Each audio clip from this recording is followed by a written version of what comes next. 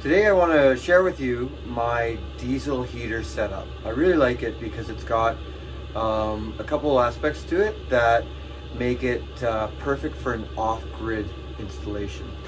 So outside I have a solar panel and it's a 300 watt solar panel and then it's connected to my MPPT. So um, this does all the uh, work. The solar panel uh, is wired directly to the MPPT and this is what tells me how much um, voltage and current is coming from the solar panel and then I wire that directly into my 12 volt batteries.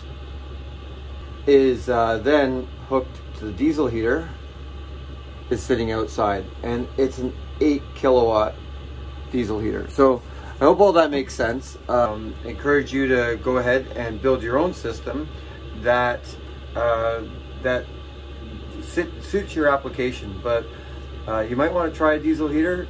Uh, they have worked well for me. I've installed them in my RV. Uh, it's a 31 foot RV.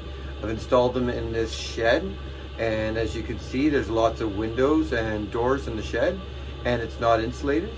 And uh, I've also installed it in my daughter's RV which is a 24 foot RV and in, all in, all the installations have been very solid. So um, really encourage you to give them a try research them and uh, if you have any questions just put them in the comments below